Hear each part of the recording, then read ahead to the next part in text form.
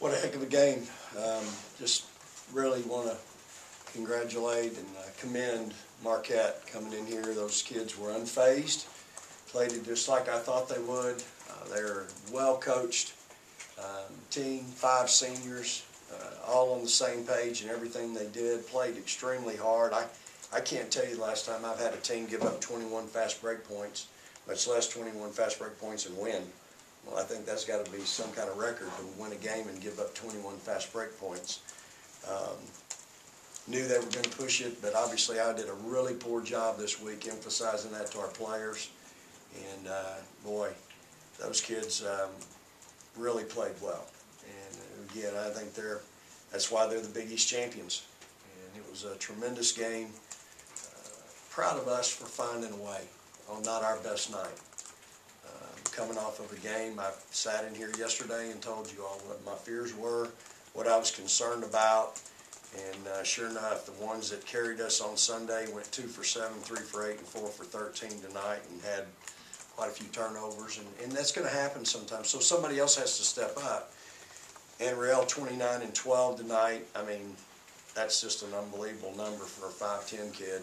She was going to think she's going to want to say she's six feet and maybe in some higher tennis shoes, but just what a tremendous effort by her. And then T goes for another double double, 24 and 18, and um, boy, they were special. Jasmine had 13 assists tonight, um, which is a career high for her. And uh, again, finding a way on not your best night, I think that speaks well for our kids and our team. Again, we're I've been trying to tell y'all we're a long way from being a finished product. I think tonight we had some rough edges that were really exposed and uh, gives us something to work on and focus on. Um, but um, again, just uh, proud that we were able to find a way at the end and make enough plays at the end, get enough rebounds at the end, get enough stops at the end. Because uh, they're really good. That's a very, very talented, well-coached Marquette team. And uh, bad news is we got to go up there next year. Any other Teaira, can you, um, on the play where you took the pass from Jazz, and you guys took the lead for good, uh, can you, uh, can you talk about your emotions and, and going, the, what was it, the and, is that your, your and one? Oh, Your- that's just you know count it. You know you gotta count it. You just gotta tap your finger. Is that your, is your reverse Mutombo, or, is Mutombo used to go like that? Oh, mm mm. That's nothing. Just just me. Just count it. Yeah. Just get the free throw. How, how much did you, did you think that that was, that was the one that was gonna put you guys over, over the proverbial hump? Mm, I knew it was gonna be a hard fought game going in, but I never let that phase me. I never, you know, they went up, and I just kept telling my team we're good. You know, telling us to you know guard the ball and do the things that we weren't doing. So you know, letting them score. So I mean, I wasn't at all phased, but I mean, every shot that I got was I was confident. So Six out of six at the free throw line tonight for her was obviously big as well, so. I mean, we needed every point tonight, y'all. It was a, it was a, I'm sure there was a lot of people there who thought that was a great game and, you know, giving up eighty-two points, twenty-one fast break points, they're probably coaching will probably sleep for a few days. Anriel, um, Marquette's coach was just in here and she was talking about how she thought she had a good scouting report for you, that you didn't really shoot many three-pointers and that you usually went right instead. It said, you know, whatever they thought you were going to do, you basically did the opposite. How, and she said that's kind of the sign of an All-American. Like, have you, you know, diversifying your game and everything like that? Are you kind of proud of how you did kind of everywhere tonight, outside, inside, all that stuff? Um, I feel that I can always get better. Um, I know that my shooting hasn't been the best the past couple games, so the coaches and I we got in the gym today and we had to work on some things that I wasn't executing previously. Um, so I just have to keep getting better. Chloe, can you talk about your defense uh, on that last play uh, when they had the side out of bounds? Um, It looked like you were, you were on number five, and it looked like she had an upfake to try to get you off your feet. Can you just take us through that play? Oh, well, you know, they needed a three, so I was gonna give her anything a three. And she out faked, and I was gonna let her go by, honestly, because I think we're up by three at that point. And she decided to, you know, take a dribble and, and shoot it, and she was still behind the three point line, so I was just trying to be as close as I could and block it. Did you feel that you had not knocked her off balance, but do you think your presence had affected her enough where she was off balance and didn't get a good look? Well, yeah, a little bit, I think so a little, but yeah, as I said, um, I just didn't want to get off that three. Vic, I know obviously those two had a huge game, but you had a couple, you know, Bre'Amber hit that three, Jordan Danberry had that really tough take in the last minute, Chloe has the block. I mean, how nice was it to get some kind of role players in really clutch moments to kind of help put you all over the top? Well, Bree's been, she's er- worked her way into that first guard off the bench, and,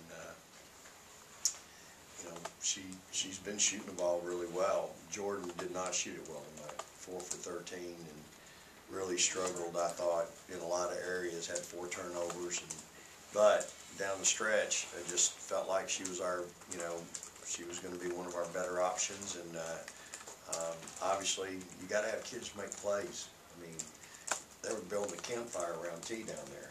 And, uh, even, and we threw it in there a couple times and she scored in the campfire, but late, you know, late in the game, they, they were focused with her and, and you, you know, I had Chloe off the floor offensively. Um, and, and so somebody's gotta step up and make a shot.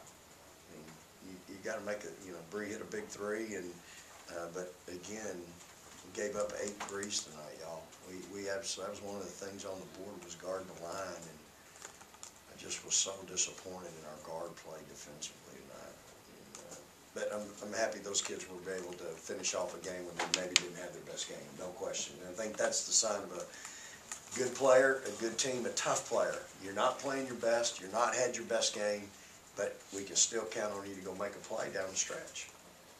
Were, were Breeze twenty minutes more of how they were spreading the floor and, and you wanted somebody to? She did the best job on number eleven. I mean, we just, we, I think Johnny went, just decided and said, hey, she's doing a better job on eleven, so let's put her on eleven and, and, uh, we'll see if we can't deal with the rest of them. And so, uh, eleven had at half, she was four for five, and she went two for six in the second half.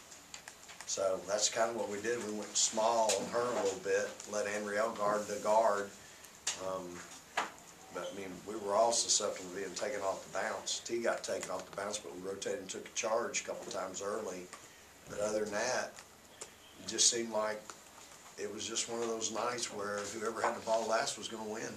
And it almost was.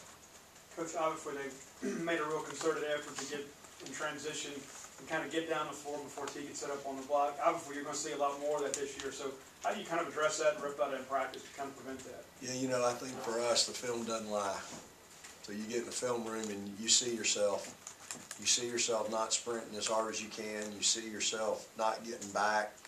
Um, you see yourself not trying to get out on three-point shooters as hard as you can, and so I think that more than anything, um, is, is where I'll be with it.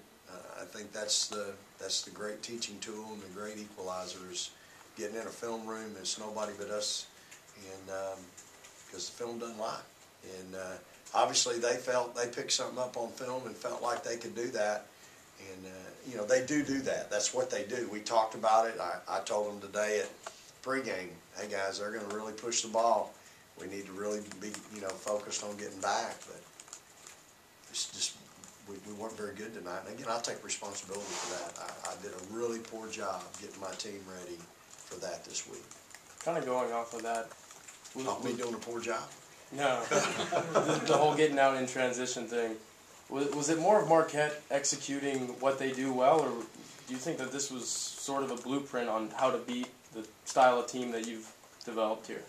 Yeah, I hope it's not a blueprint, you know, I hope it's, uh, you know, it's just a one-night deal. Um, you know, with no true five, um, and, a- and another guard like we had last year in Victoria at four for them, that's what number eleven is, she's Victoria for them. Um, you know, it can be a tough matchup. Chloe had a really tough matchup tonight, um, if we put Anriel on their best player, but we were all guilty. I mean, we, we ran off and left the ball in transition numerous times in the first half. We'd be coming down running side by side and we just run off and leave it. I mean, we just were not very good tonight in that area. And, you know, again, I think when you show them the film, they'll see, you know, this is stuff if, if, if, y'all looked at percentages, transition offense, transition defense is like sixty-five percent of a game. Well, why aren't we working sixty-five percent in practice on that? Well, we don't, but we do spend a lot of time on transition defense, three on two, two on one, three forty-one, four fifty-one, uh, you know, four on four get back, five on five get back, three on three, get- I mean, every day, there is at least twelve to fifteen minutes of what I just mentioned to y'all. Those are all transition defensive drills. And, uh, you know, tonight, again, for whatever reason, we just were really, um, we weren't very good in transition defense again. And nobody's fault but mine. I gotta coach better and teach better, obviously, because we don't understand what it takes to get back and get matched up. Thierry, you guys had a one-point lead and inbounded the ball, Jordan had the ball near midcourt. It looked like she was almost off balance, and then she fed it to you, and then you fed it to Chloe. Can you take us through that play? And it, it almost looked like Jordan was gonna fall down and travel, but she managed to keep possession. Well, I, kn- I seen when she let the ball go, I knew I had to be up, and coach always says don't run off and leave the ball. So I knew I had to go back, and I seen that Jordan. It was two people going to Jordan, and so when she threw the ball, I looked up, I seen nobody, and Mar- nobody from Marquette back, and I seen Chloe, so I just kicked the ball to Chloe. She got a layup. Did Jordan just lose her balance, or did she, did she get bumped by somebody and start to fall? I'm not sure. Teaira, uh, I see you're more mobile on defense now. Um, how much is uh, is Andrew uh, part of that? I see you're more mobile on defense now. You're not um, necessarily packing up on the center or the court. Um, how much is Andrew part of that? Um, she's a big part of that. You know, we go back and forth. She helps me, I help her. Basically, that's what it is. And also in um, offense, you guys seem to take a lot off of the pressure from the guards. You guys, uh, is that a decision you guys make throughout the game, throughout quarters, depending on the, the person you're playing, or is that something you guys do just, um, you know, off of just instinct? Instinct, I guess. I'm, I'm not really understanding that question. Never mind. Sorry, I didn't understand it either. That's why I was letting you answer. It's kind of- They just develop some really good chemistry and they work well together, as well in practice, so. Good job, Chloe. Thanks, Chloe. You had two Sorry. assists on the score sheet. Alright guys, anything else?